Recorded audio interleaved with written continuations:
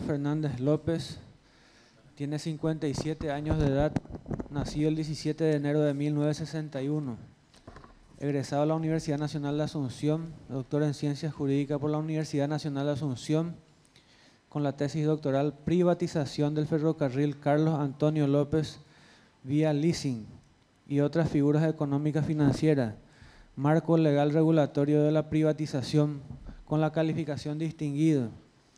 Ejercicio de la profesión por más de 33 años.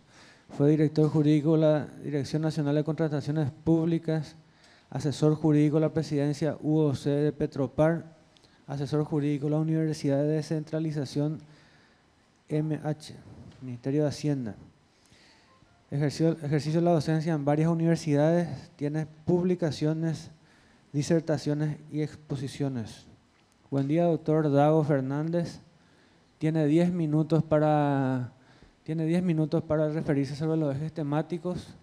El funcionario Ignacio Cardoso estaría indicándole con la carpeta amarilla y colorada a medida que transcurre el tiempo. También indicarle que por disposición, disposición del Consejo de la Magistratura está prohibido leer directamente sobre los ejes temáticos. Adelante. Señores miembros del Consejo eh, señores integrantes del Tribunal de Honor, señoras y señores, voy a dar inicio a esta exposición con el rol del Poder Judicial en el Estado Social de Derecho y voy a usar un pequeño ayuda a memoria sin leerlo. Eh, en primer lugar, el, el Paraguay se declara un Estado Social de Derecho a partir de la Constitución Nacional de 1992 y en la cual se establecen los principios y garantías que los ciudadanos eh, han de gozar a partir de ahí. Y es digno mencionar el artículo 46 de la igualdad de las personas y el 47 que habla de las garantías de esas igualdades. Justamente es ahí donde el rol del Poder Judicial se hace patente y crucial. Por cuanto que en la administración de justicia justamente se logran establecer, restablecer las igualdades a consecuencia de los conflictos que puedan surgir por diferencias de capacidades o poderes de distinta índole. El rol de un juez dentro de un Estado social de derecho es, se patentiza y se vuelve muy gravitante, ya que en un Estado dictatorial un juez es, prácticamente una máquina. En un Estado social de derecho democrático, el juez logra eh, ser más solidario, adaptarse mejor a las realidades y necesidades de ese pueblo necesitado de justicia. Ese rol del Poder Judicial se vuelve muy importante del momento que pueden darse las garantías suficientes la defensa de los derechos humanos y, por qué no decirlo, de los derechos económicos también, ya que habiendo la garantía suficiente, se pueden establecer capitales en un país, se pueden crear fuentes de trabajo, se puede realmente hablar de, una, de un desarrollo en democracia. El siguiente punto, la percepción acerca de la administración de justicia. En, nuestro país es fácilmente visualizable a través de los medios la existencia de una justicia reprobable en la cual se caracteriza por la eh, percepción de una debilidad, corrupción, sumisión de los encargados de la administración de justicia a consecuencia de los poderes fácticos. Otra, otro problema es el exceso de trabajo que tienen y genera la mora judicial, lo que a su vez repercute en estos eh, administradores de la justicia y los auxiliares de la justicia, generando un estrés muy elevado e incluso lo que hoy se denomina el síndrome del quemado o burnout. Eh, por otro lado, vemos una justicia que también está plagada de impunidades, lo cual eh, descorazona, desmotiva a aquellos administradores de justicia. Tal es así que el administrador de justicia, el, el juez probo, el juez fuerte que logra aplicar la ley como corresponde, sacando sus fallos y sentencias, se encuentra con la tristeza de que finalmente puede ser que sus fallos no sean aplicados por la impunidad imperante. Por otro lado, tenemos de que a los jueces se les pide que den las garantías, que den la igualdad de trato a todos los ciudadanos, pero esos mismos jueces se encuentran con algunos problemas a la hora de que ellos son juzgados por meras denuncias periodísticas, luego son suspendidos en sus funciones sin edie y no han tenido el debido proceso. Entonces hay una situación en la cual el juez piensa dos, tres y mil veces para tomar una decisión o simplemente se aparta. Eh, yo creo que el juez imparcial, el juez probo, existe, pero también debe tener un apoyo de toda la estructura judicial y, por qué no decirlo, de toda la sociedad paraguaya. Tenemos una cultura autoritaria, eso es innegable, pero no por ello tenemos que desoír también las eh, necesidades de esos jueces y de los auxiliares de justicia. Eh, yo considero de que la corrupción, filosóficamente hablando, es una debilidad humana y por tanto puede ser al menos disminuida, estableciendo los controles adecuados mediante la Superintendencia de Justicia, mediante eh, diferentes sistemas que hoy en día se han establecido para el control. Y por otro lado también, si uno quiere disminuir esa mora judicial, yo considero de que en, los juzgados, porque no en todos los juzgados hay, eh, debería establecerse algún sistema de retribución a esos funcionarios que se queden a trabajar fuera de horario o que simplemente se establezca alguna eh, contratación a lo mejor de personal transitoria para apoyar y lograr disminuir eso, ya que hoy en día tenemos también el expediente electrónico, pero de todos modos eh, yo considero que llegado el momento de la sentencia, igual vamos a tener un cuello de botella, porque el juez tiene que analizar eso, sí o sí. Em, mi compromiso personal, en el caso de llegar al cargo, eh, yo desearía colaborar enfáticamente en la reestructuración de nuestra administración de justicia Creo que tengo la capacidad para hacerlo porque además poseo una maestría en administración de empresas eh, ganada en la Universidad de Bristol en Inglaterra. Tengo experiencia de más de 35 años en el sector público, sirviendo en distintos entes, aparte de la docencia universitaria por casi 30 años. Eh, considero de que mi contribución podría orientarse hacia el lado de la, la valoración de ese auxiliar de la justicia que hoy en día consideramos o que a, través de las publicaciones periodistas se los considera una carga. Esos funcionarios judiciales que hoy son considerados un problema. Que esa gente, yo creo que en realidad hay que eh, analizar y reestructurar su situación por cuanto que no creo que por voluntad propia ellos tengan que crear eh, huelgas en determinados momentos. Eh, yo creo que la Administración de Justicia también va por el lado de la redistribución de los recursos financieros que la institución necesita. Eh, como sabemos, los recursos financieros están establecidos en un 3%, pero lo que llega realmente al Poder Judicial no es ese porcentaje, inclusive aparentemente es solo un 2%.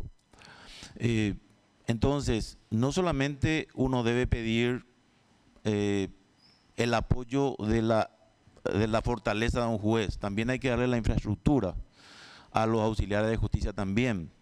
Entonces yo creo que puedo colaborar en esa parte y incrementar la gestión.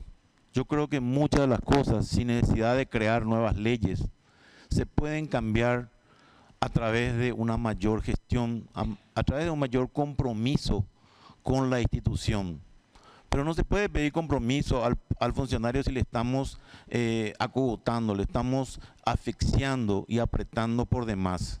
Yo creo que tenemos que ser responsables, asumir un compromiso nosotros, pero también de esa manera comprender las necesidades de los funcionarios subordinados.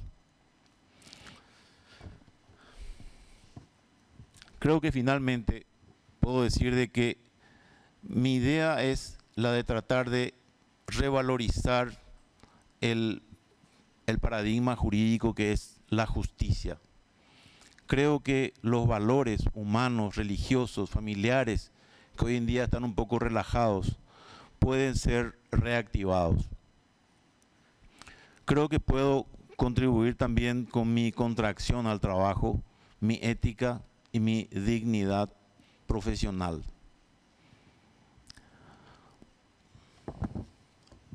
Hasta aquí. Gracias.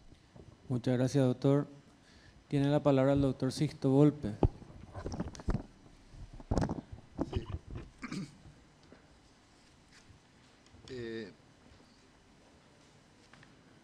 usted habla de que se compromete a reestructurar la administración de justicia. Me gustaría que amplíe un poco más eh, en qué consistiría esa reestructuración de la Administración de Justicia, si permanecería la estructura tal cual como funciona hoy, que no solamente la Corte tiene la facultad jurisdiccional, sino la facultad administrativa, ¿verdad?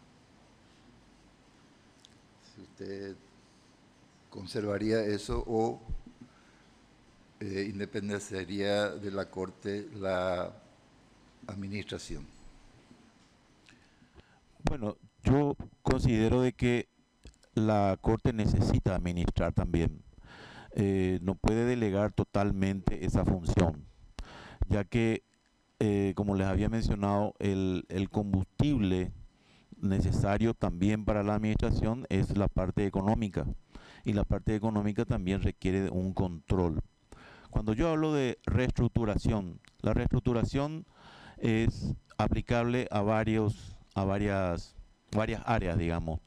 Podemos este, acortar algunos procesos, podemos también reestructurar la parte en lo que se refiere al, al manejo del personal, también con respecto a la distribución del presupuesto de eh, ingresos y gastos que se le, otorga al Poder Judicial, que hoy en día está restringido por la ley 1535 del año 99, que prácticamente al Poder Judicial se lo está subordinando al nivel de un, eh, de un ente cualquiera.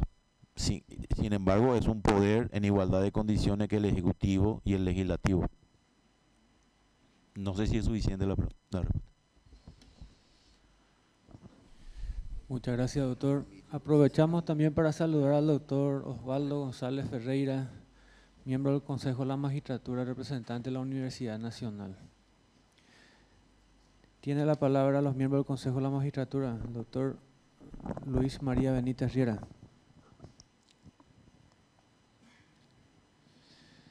Doctor, manifestó que tiene una maestría de administración de empresa. Y si usted llega a la Corte Suprema de Justicia dentro de ese conocimiento, Parma lo hizo en Inglaterra, así que con mucha profundidad, ¿verdad? ¿Cuál sería su aporte, aunque lo he escuchado atentamente, algunos puntos se ha referido así en forma tangencial, respondiendo a ciertos preguntados ya realizados por el doctor Sisto Golpe Ríos? Pero me gustaría profundizar qué tipo de reformas usted propondría al sistema judicial teniendo en cuenta esta especialización suya en la parte administrativa que es de fundamental importancia en este momento? Desde mi punto de vista, el, lo que en este momento debería cambiarse es el hecho de que el Poder Judicial debería recibir 3% del presupuesto eh, anual y, recibe nada más que en un promedio de 1.8 a 2%, hay una pérdida del 1%. Cuando hablamos en miles de millones es muchísimo. Por un lado.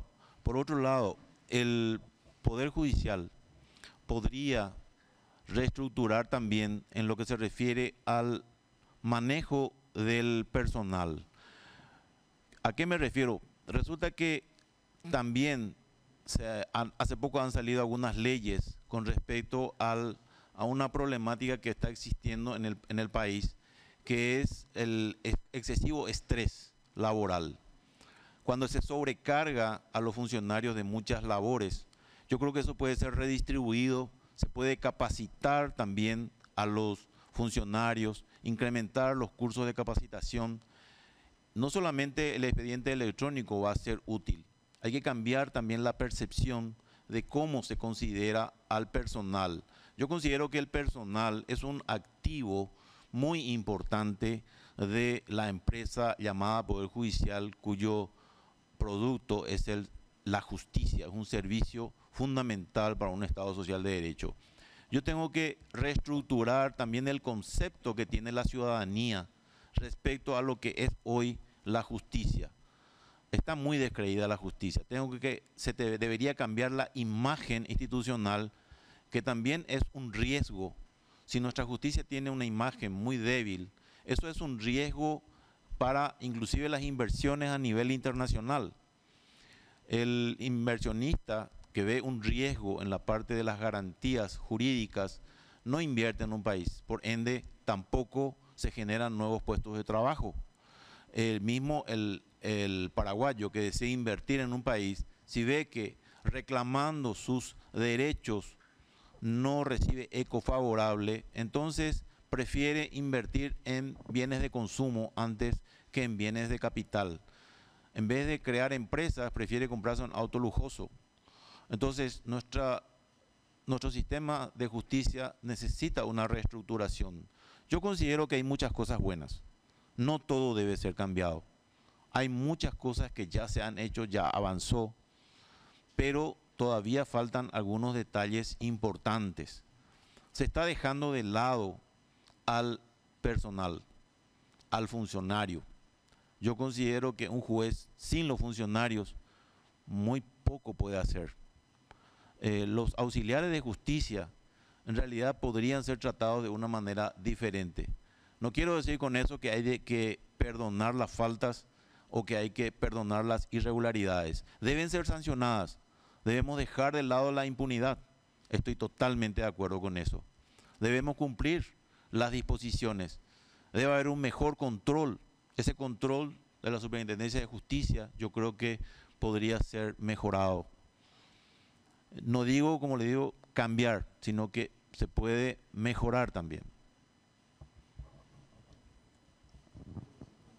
Adelante. Doctor, muy interesante su ponencia. Y bajando al campo operacional y sabiendo que usted es un operador de la justicia, ¿verdad? Eh, ¿Cómo usted ve el trato de los jueces y de los funcionarios hacia la comunidad jurídica, hacia los abogados, hacia los profesionales que ejercen cotidianamente el derecho?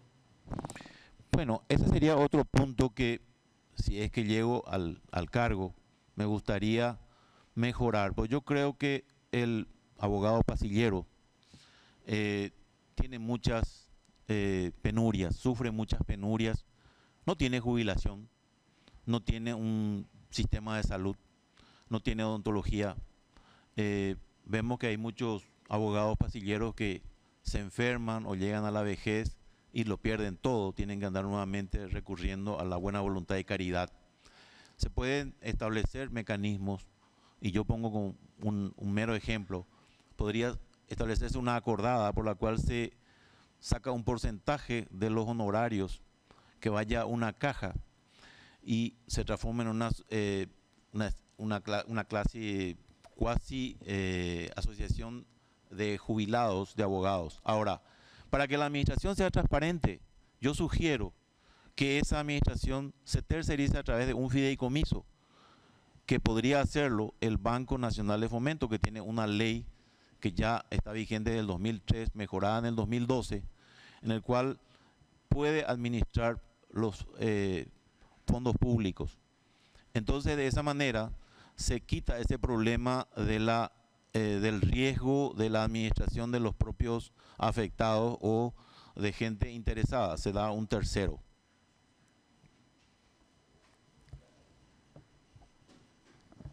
Muchas gracias, doctor. Tiene la palabra el diputado nacional Roberto González. Muchas gracias, presidente. Muy buenos días para todos. Buenos días, doctor Dago Roberto Fernández. Tengo una curiosidad, doctor Fernández. Usted de llegar a ministro de Corte, ¿cuál es su criterio en relación a lo que se da en denominar la figura de la certeza constitucional?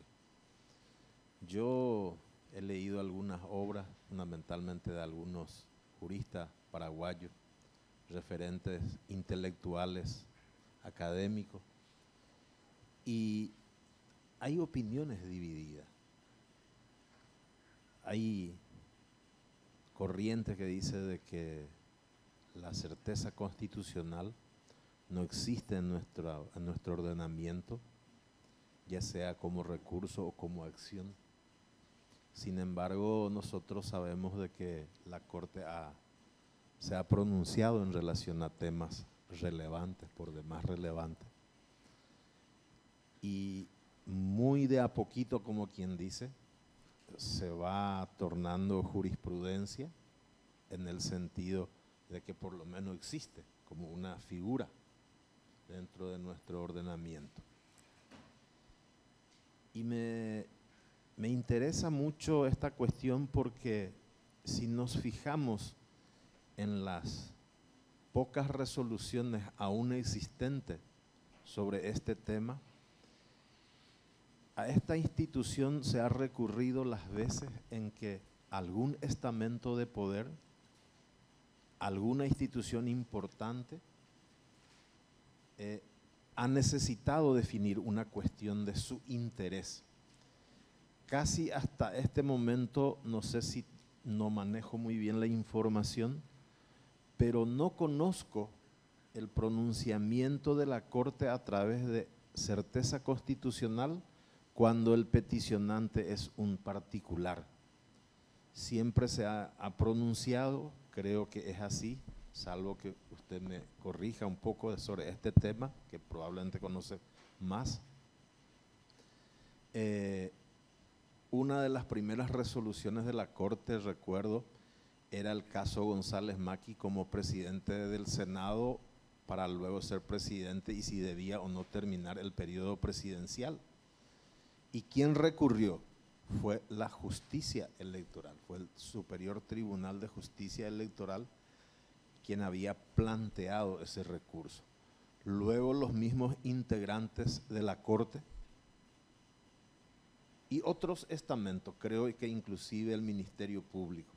Entonces mi pregunta es, a su criterio, ¿existe la figura, la figura de certeza constitucional? ¿Es una acción, es un recurso o, es un tema que con su incorporación eventualmente en la Corte va a imponer una nueva corriente, un nuevo criterio, a ver si se desmonta lo que hasta actualmente se está consolidando eh, en nuestro proceso judicial? Muchas gracias, doctor Fernando. Ya. Un, eh, minuto, un ratito, doctor. Por favor, si pueden poner en silencio sus teléfonos celulares. Por favor, por respeto a, a la audiencia. Gracias. Bueno, a mi criterio, la certeza constitucional no es una figura, no existe independientemente.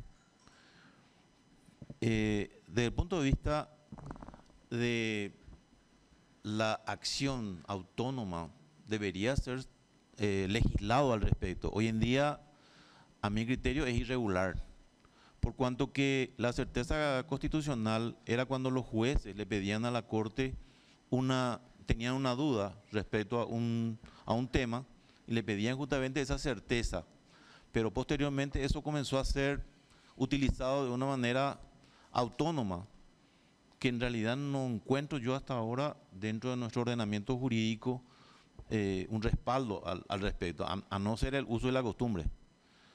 Eh, yo no estoy en contra. Eh, digo que hoy en día es el uso y la costumbre lo que está imponiendo eso, no una, un respaldo jurídico. Pero no obstante, se puede legislar al respecto, se pueden establecer normas claras. ¿Por qué no?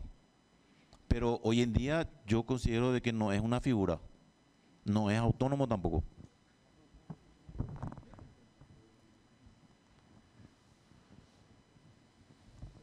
Muchas gracias, doctor. Tiene la palabra el doctor Carlos Raúl Cabrera. Buenos días, doctor. Usted habló de la tercerización y planteó un fideicomiso para que un tercer administrador maneje las cuestiones de la corte. ¿en qué sentido usted, qué parte de, la administración de la Corte usted tercerizaría? ¿La parte de contrataciones públicas? ¿La parte de administración del personal? ¿Cuál es su idea con respecto a, esa, a esa ponencia que usted estaba mencionando hace un rato?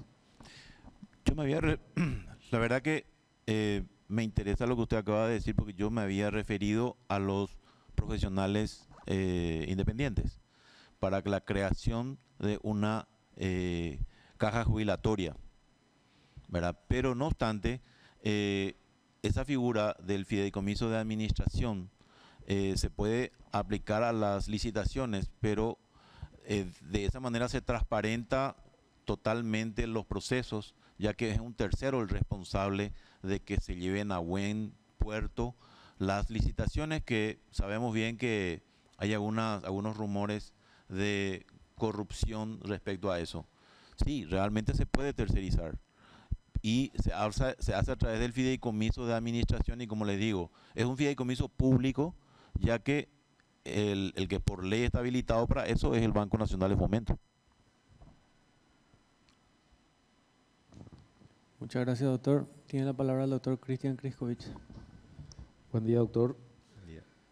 Respecto a su respuesta a la pregunta que le formulara al diputado Roberto González de la certeza constitucional, yo también quiero ampliar con respecto a uno de los temas que usted tiene una publicación, el MUVIM. En materia laboral, que veo que usted conoce, también hay una discusión de que se están creando algunos derechos que no están reconocidos dentro del Código del Trabajo. Uno de ellos es la, indemnización por MUVIM, intereses, el daño moral que está vinculado al moving. ¿Qué responsabilidad tiene la Corte en materia de marcar límites en cuanto a la jurisprudencia, que en muchos casos, ya son varios los antecedentes de este tipo, está, está sentándose no, no solo ante el silencio de, la ley, sino no existe dentro de la ley una norma de ese tipo. No sé si me explico. Bueno, em, en realidad voy a, comentarle, un, voy a hacerle un adelanto. Se está presentando nuevamente el proyecto de ley contra el acoso laboral en este momento. Creo que si no es en esta semana, la próxima semana se va a presentar este, en el Congreso. Eh, por otro lado, el acoso laboral o mobbing está respaldado por la Organización Internacional del Trabajo, que el Paraguay sí ha ratificado eso. Eh, también en el Código Laboral habla de la tortura psicológica, ¿verdad? Eh, a nivel internacional hay sendos acuerdos con respecto a la, en contra de la tortura psicológica, porque el acoso laboral es una discriminación y una tortura psicológica que se aplica al, al el empleado que uno quiere que renuncie, ¿verdad? Entonces por eso se le llama eh, es la, el despido indirecto. Yo creo que realmente eh, si vamos a basarnos en un Estado social de derecho y vamos a respetar los derechos humanos, eh, hoy en día tenemos una cuasi esclavitud de los funcionarios de cuello blanco. tenemos un exceso de autoritarismo en muchos casos en las instituciones que están muy centralizadas principalmente los empleados públicos y también en el sector privado existe, eh, existe mucha, mucho tratamiento dictatorial para, para, la gente, que finalmente son seres humanos. Con respecto a la eh, medición de las sanciones, que es lo que entiendo que había consultado, yo creo que realmente todo va dentro de la racionalidad también, ¿verdad? Eh, claro que dentro del Código Civil mismo vamos a encontrar que existen lo que se llama la, eh, la pérdida de oportunidad, ¿verdad? El, el costo de oportunidad que una persona tiene cuando deja de percibir un salario y es echado injustamente, por ejemplo. O sea, todo está realmente basado en la sana lógica jurídica con respecto a la medición de esas sanciones o, eh, eh, castigos jurídicos que corresponden al perpetrador de un acoso laboral, ¿verdad? Um, Gracias, doctor. Una otra, en cuanto a su tema de tesis, veo que se refiere al proceso de regulación de las privatizaciones. ¿Por qué cree que fracasó el proceso en el Paraguay? Si bien tenemos dos sociedades anónimas, son finalmente, eh, tienen como socio principal el Estado y otra empresa pública. Entonces, ¿qué pasó con nuestro proceso después de ya varios años de transcurrido? A mi criterio, en realidad los distintos eh, grupos de poder han influenciado para que esto no llegue a buen puerto. Porque con respecto al ferrocarril, que fue mi tema de tesis, yo encuentro que en Argentina, por ejemplo, se privatizó también el ferrocarril. Y los que se adjudicaron por tramo fueron los transportistas. Entonces, no se transformó realmente en una competencia para los transportistas. Eh, en nuestro país, lastimosamente con respecto al caso de, LAPSA, hemos perdido todas nuestras rutas aéreas, eh, hasta el nombre hemos perdido, ¿verdad? Hemos dado el nombre de TAM, eh, ese era un nombre nuestro ya, transporte aéreo militar se transformó en transporte aéreo Marilia. En la parte hemos perdido nuestra flota mercante, las flómeres, eh, que inclusive sabemos que la mayoría no fueron indemnizados Mucha gente ha quedado en la calle como consecuencia de, ese proceso fallido. Eh, yo creo que fue mal eh, administrado y no hubo la voluntad política de llegar a buen puerto por culpa, a mi criterio, de los intereses de los grupos de poder. De que es factible, es factible. Pero todo depende también de que haya un consenso generalizado y eh, se hagan las cosas como deben ser, o, al menos un 50% de lo que deben ser. Muchas gracias, doctor. Tiene la palabra el doctor Adrián Salas Coronel. Muy buen día, buen día, doctor Dago.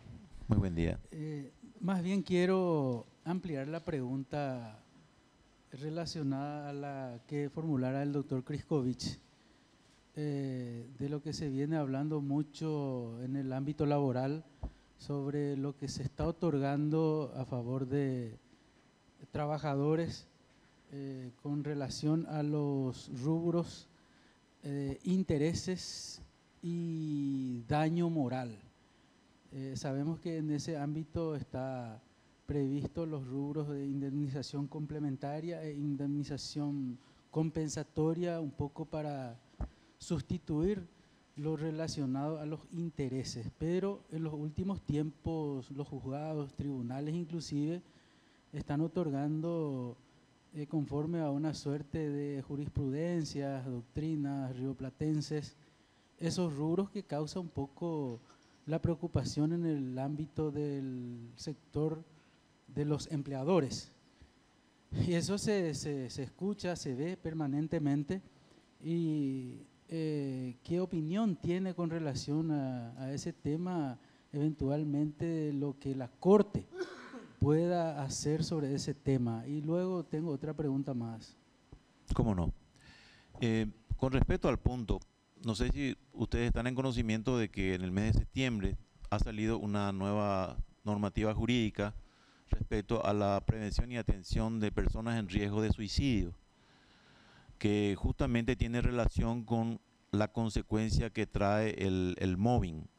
El año pasado hubieron más de, creo que si no es 5 a, a, 5 a 10 suicidios de profesionales médicos y enfermeras. Eh, hoy en día el, el, producido del daño moral es mucho más eh, grande de lo que se puede visualizar. Ese daño moral, yo también tengo estadísticas de personas de algunas instituciones públicas que luego de 10 años de estar sometidos a lo que se denomina el freezer o mobbing, terminan con eh, despido por, des, eh, es decir, jubilación por salud, con 100% de incapacidad a consecuencia de bipolaridad, a consecuencia de eh, cáncer, a consecuencia de numerosas dolencias que genera ese daño moral. Yo creo que los jueces que hoy en día están fallando a ese respecto están manejando el daño eh, psicológico que está ocurriendo a la población. Están, eh, a mi criterio, defendiendo los derechos humanos de esa ciudadanía desamparada. Porque el capitalismo salvaje está vigente. Ese capitalismo que solamente desea el lucro desmedido. Es también una de mis ideas de que dentro de la responsabilidad social empresarial los, eh, los patrones puedan destinar tan solo un 0,5 al 1% de sus ganancias netas anuales para potenciar las cajas de jubilaciones, que hoy en día en su mayoría están en quiebra o en riesgo de caer en quiebra. Se habla que incluso el IPS dentro de tres años estaría ya en situación de falencia. Entonces, eh, se habla mucho de responsabilidad social empresarial y el, el daño moral está, eh, es invisible. Nadie se da cuenta del daño que está ocurriendo.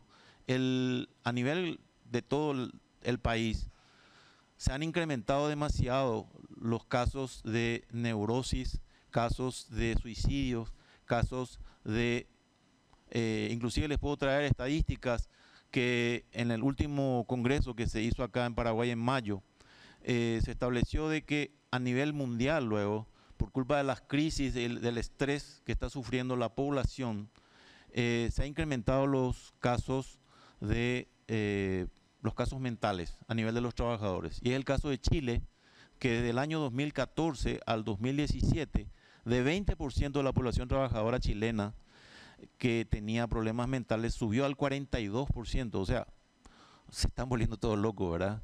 Es decir, si en Chile está pasando eso y hay estadísticas oficiales, ¿cómo estamos acá por Paraguay? Eh, yo no sé si estoy demasiado acuerdo, ¿verdad? Así que... Entiendo. Y el otro punto, en base a su exposición, eh, señalabas de la necesidad de crear una suerte de caja forense, eh, Sí. de la tasa judicial. Eh, ahora señalaste también de que lo importante sería una suerte de 0,5% de aporte de la parte empleadora. Eh, dentro de ese contexto,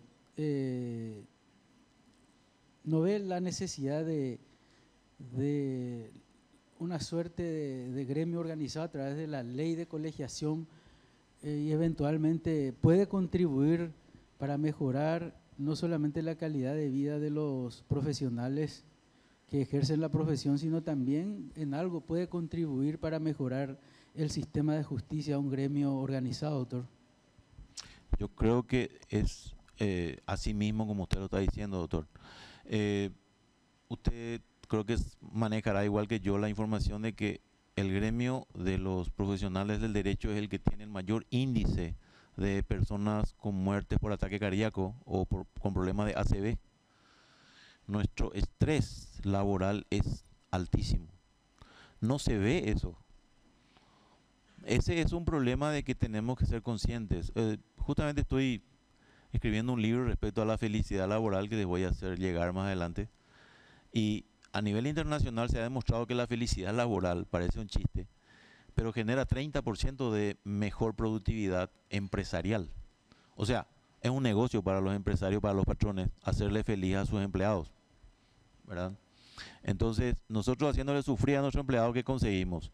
Ausentismo, conseguimos eh, que la gente baje su productividad, conseguimos que no huelga. ¿Quién gana con eso? Todos perdemos. Es decir, eh, existe una, una necesidad, un repensar todo el sistema como lo conocemos actualmente. Eh, se puede por eso rediseñar o reestructurar, como quieran llamarle, eh, sin crear un caos. Se puede usar el, el, el concepto de Estado Social de Derecho para realmente pensar en las personas no solamente en ese capitalismo salvaje de buscar ganancias en forma irrefrenada que no sabemos ni para qué, porque generalmente uno acumula riquezas y no sabemos, sabemos bien que nos vamos a llevar eso al, al cajón y podemos ser felices con muy poca cosa. Y sin embargo se vuelve un, dentro de nuestro microchip, se vuelve una, algo eh, prioritario.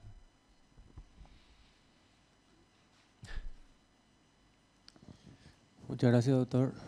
Vuelve la pregunta al doctor Carlos Raúl Cabrera. Gracias, presidente. Doctor, no puedo dejar pasar el tema del capitalismo salvaje y la responsabilidad de los patrones en cuanto a la responsabilidad social. El empleador paga 15,5 de IPS, es decir, está colaborando. Por una falta de reglamentación aún se está pagando también asignaciones familiares. También la nueva ley de lactancia materna le vuelve a cargar al empleador una cantidad de, normas y tiene responsabilidades económicas el empleador, no tan solamente eh, fiscales y de crear fuentes de trabajo, sino que la inseguridad jurídica al contratar a un em, empleado al término del distracto como está en el código del trabajo bien establecido y bien tabulado cómo debería hacerse, uno sabía exactamente a qué exponerse al momento del despido. Usted sabía que cuánto de su costo indemnizatorio de acuerdo a las normas del artículo 81, o en el caso de que el trabajador eventualmente le haga el despido indirecto conforme al artículo 84, entonces podía alegar eventualmente un daño moral. Pero hay sentencias actualmente dentro del ámbito laboral que son millonarias.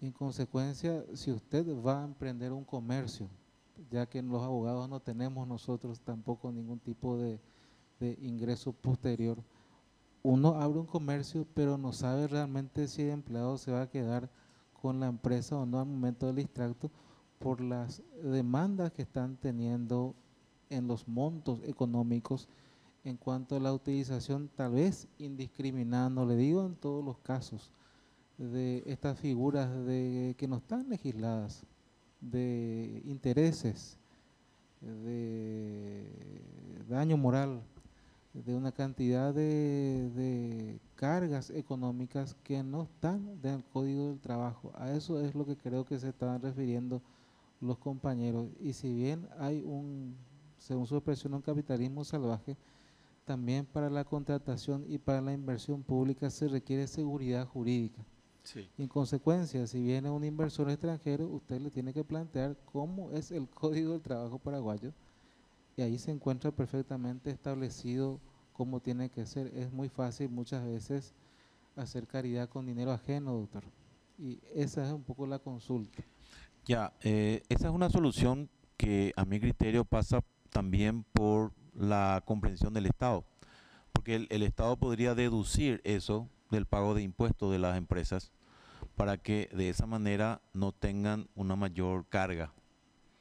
Entonces directamente el empresario contribuye sin necesidad de pasar por las arcas del Estado donde se diluye esa contribución. Eh, en, otros países existe esa figura. Muchas gracias, doctor. Tenemos una consulta al auditorio, doctor Dago Fernández. ¿Está de acuerdo que la huelga judicial instrumentada de la propia Corte Suprema de Justicia los efectos de presionar al Congreso Nacional para la aprobación de su presupuesto ¿Y qué acciones tiene previstas para destrabarlas? Bueno, como le había mencionado, el propio Poder Judicial se encuentra ante una injusticia en este momento. Eh, 3% debería recibir y no lo recibe. Eh, su presupuesto está recortado en forma ilegal, diría yo. Entonces, esa instrumentación, entre comillas, yo creo que no le queda más remedio al Poder Judicial que de alguna manera hacerse sentir ante el, el Poder Legislativo, ya que sabemos de que si no se hace ruido, nadie toma conciencia de lo que está ocurriendo. Eh, a mi criterio es muy interesante la alianza que está surgiendo entre la patronal del Poder Judicial y los funcionarios. Eh, quiere decir que hay un poquito más de humanidad en el trato para un problema común que es la falta de liquidez o la falta de recursos económicos. Lastimosamente yo eh, no estoy en contra de eso, me van a posiblemente juzgar negativamente, pero eh, yo no encontraría qué otra forma hacer, cómo lo haría para que el Senado se solidarice conmigo y me dé lo que en justicia me corresponde. 3% me corresponde a mí, como Poder Judicial. Me están dando 1.8, 2% nomás. Ahí ya comenzamos, ¿verdad?